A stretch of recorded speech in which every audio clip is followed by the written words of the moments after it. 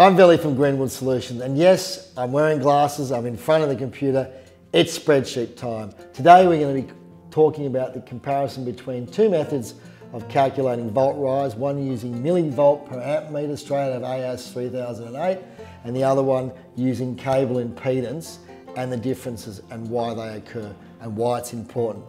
So hit that subscription button, let's get stuck into it. And as you know, I'm such a horrible typer, so I've basically made all the fonts white, and here we go, we'll just go through this here. So Now, in this particular method, we are using the millivolt per amp meter method.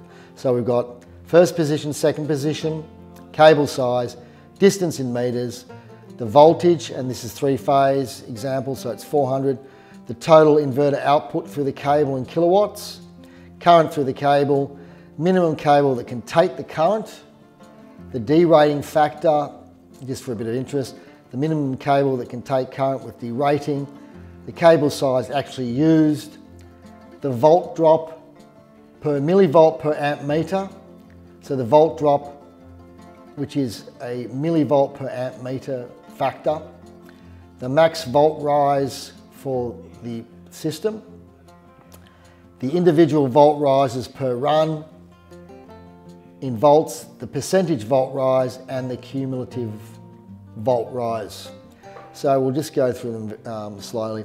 So effectively, point of the first position or uh, is the point of supply always, and then the second position in this case is the MSB. We're using 95 mil cable, okay, and there's a drop-down list, and we've talked about data validation using lists previously, so I won't go into too much detail. Okay, the distance in meters, this is user input here totally, so 50, 60, 70. The voltage, well, it's 400 volts, three phase, nominal. Now the total inverter output through the cable, in this case it's 100 kilowatts, and then with this calculation over here, and uh, we'll just focus in on that calculation.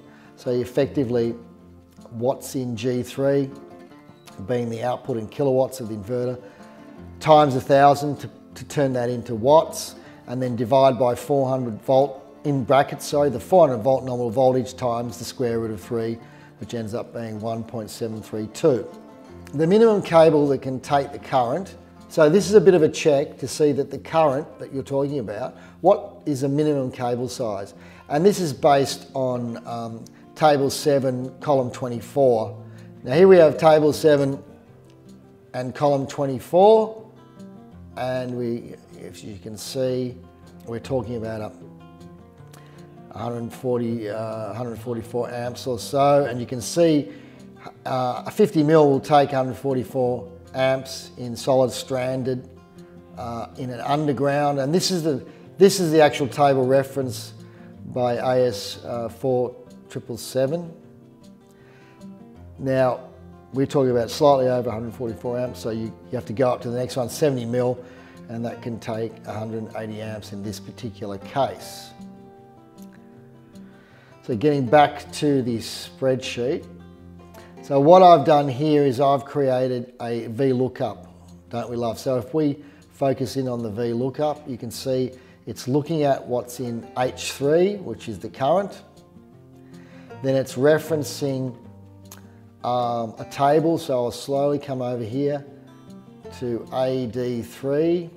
So basically it's looking at AD3 to AF22 and you can see, so it's looking at those three columns. Now, it's looking in the third column because it wants to extract the um, correct cable. And if we come down here, we can see the 70 mil cable and there's 100 and 180 amps. I throw in a derating factor that if you want to derate the cable for the current carrying capacity, in this case, if I derate by 0.7, it says I have to go to 95 mil. And um, that also involves a calculation, another V lookup. And the cable size used, we use 95 mil. Now, when I select the 95 mil, it another VLOOKUP effectively looks in what is in L3 and references what's in AO4. So we go all the way to AO4 and looks down to AP23 all the way down here and that'll pull back uh, millivolt per amp meter figure. So you can see here 95 mil will pull 0.449 millivolts per amp meter. So the lookup functions are really great. I'm using VLOOKUP, but you can also use XLOOKUP if you've got a newer version of Excel. It's a function I use quite a bit, especially when it's when we're talking about cables, uh, current carrying capacity, and the volt rise uh, situation and those kind of calculations. So let's get back to it. So we know the, the millivolt per amp meter there is uh, 0.4490 because it's 95 mil cable. The max volt rise is 8 volts because we're talking about a 400 volt nominal voltage and we're allowed a maximum of 2%. So 400 volts times 2% equates to 8 volts. So all these runs cannot exceed 8 volts. Now, the volt rise over that particular run is 3.24 volts and I've converted that to a percentage and then I've done a cumulative figure. Obviously this is the first run so the cumulative figure is going to be the same as the percentage volt rise. Now the next run is from the MSB to the secondary protection board. Still using 95 mil, this time we've used 20 meters. That's the run. It's going to be the same situation as the run from the PS, from the point of supply to the MSB, the same millivolt per meter, but the volt rise is going to be less because obviously it's a shorter run, it's less. So if I change that to uh, say 50 meters as well, you'd see um, it's exactly the same uh, figure, but the issue is, can you see down here in the cumulative volt rise, it's gone over 2%. Now, I'll change that back to 20. Remember, it's a maximum of 2% volt rise. That is the allow that's allowable under the current Australian and New Zealand standards. So the, the final run is the secondary protection board to the inverter. We're using 16 mil, 20 meters, uh, 400 volt nominal voltage. It's a 27 kilowatt inverter. And uh, you may have multiple inverters, but this is the largest capacity inverter that's furthest away. And the current through that cable is nearly 39 amps. Now it's saying I can use six mil. Um, I put in a derating factor of 0.9, it still can use six mil, but I'm using 16 mil. Because if I used, if I used um, six mil, let's look at the volt drop calculation. Here we go. So you can see I've gone up to five a little over 5 volts on the volt rise and that's pushed me over the 2.3 and you shouldn't be using 6 mil. So I'll go back to 16, 16 mil. There we go. Now, so we've got a 50 metre run from the point of supply to the MSB using 95 mil.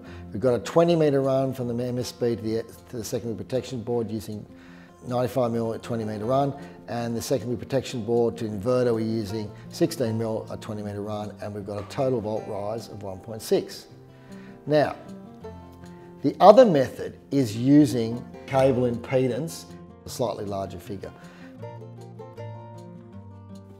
So let's make sure we've got the same figures in here. We've got point of supply to the main switchboard. We're using XLPE, we're using 95 mil can the cable carry the current, yes or no? In this case, it's, it's a manual, you'll have to manually check yourself, uh, unlike the one up here which does it automatically.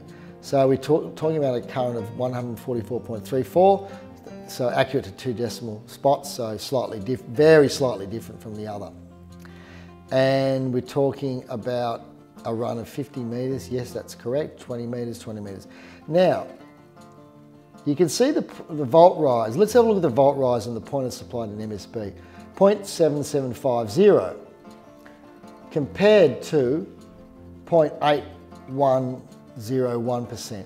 Now, cutting to the chase, Using the millivolt per amp meter method with the referenced tables in um, AS 3008, you're getting a slightly higher volt rise figure of 1.607. So with this AC cable schedule here, you're talking about referencing the cable's impedance with the calculations to do the volt rise. So for instance, over here, the impedance of the 95 square mil cable is 0.248 ohms. Uh, and it's slightly higher, I believe, than the resistance, yes. So because we're talking um, AC, the cable impedance is the figure. If we were talking DC, it would be simply the cable resistance. So we're talking cable impedance when we're talking about AC. Now, the calculation here, the V lookup, is pretty complicated, but let's have a bit of a look. And we have covered this in a previous presentation.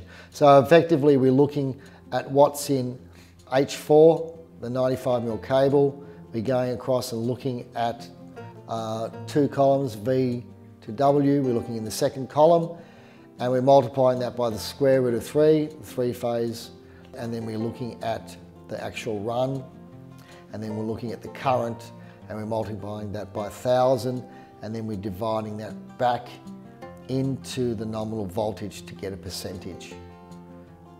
Okay? And then doing the same thing. So you can see the difference here.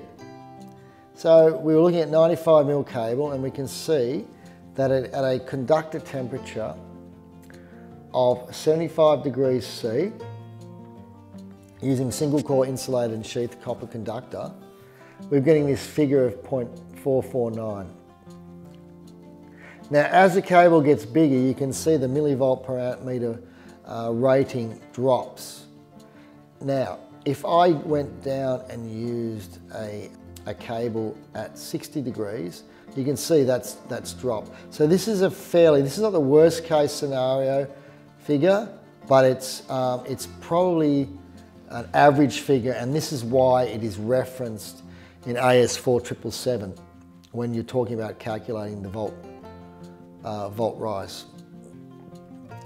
Now the other figure is the um, cable current carrying capacity, which is also referenced here in uh, table 7 of the current AS 3008 and you can see that the 95 mil cable can hold 217 amps uh, in it when it's being installed in an underground wiring enclosure using solid stranded. So you can see. Now, if we came across here and said completely surrounded by thermal ins insulation over here, they don't even have a figure for 95 on the copper here. They do when it comes to partially surrounded by thermal insulation. And you can see, look at the current carrying capacity has come down considerably from, 100, from 217 to 147. This is because this particular installation uh, means that the ability of the cable to dispel heat is severely impeded, therefore reducing its current carrying capacity. Let's get back to the spreadsheet. So, using the, milli, the reference millivolt per amp meter for the cable in question, we're getting a slightly higher volt rise calculation compared to the um, situation where we're uh, using cable impedance. It's an interesting one. And if I started doing some derating here, let's say I derated here, uh, this, let's due to uh, installation uh, considerations or location, other cables, it's, I go to 0.6, um, it says I have to use 120 mil. So I come back over here and I have to change that to 120 mil.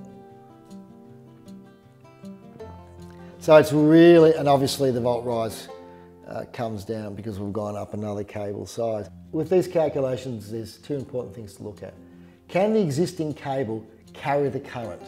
And more importantly, can the existing cable in the particular way it's being installed, what it's next to where it is, can it carry that current? Can, after you derating the current carrying capacity of that cable. Can it carry the current? Really, really important. And also, how you calculate volt rise plays a big role in the, in the, the actual outcome. So when you're doing your um, volt rise calculations, either set up a spreadsheet similar to this, or maybe a bit more complicated that takes more things into consideration, or manually go through AS 3008 for each of your cable runs and working out accurately, especially if you're coming up towards the 2%. Thanks for watching this riveting spreadsheet presentation on the meth two different methods of volt rise. One using the millivolt per amp meter method and the other one using the impedance of the cable. If you have any questions, any inquiries, any answers, or any way I can make these spreadsheets more entertaining or entertaining at all, please hit that subscription button. Bye for now.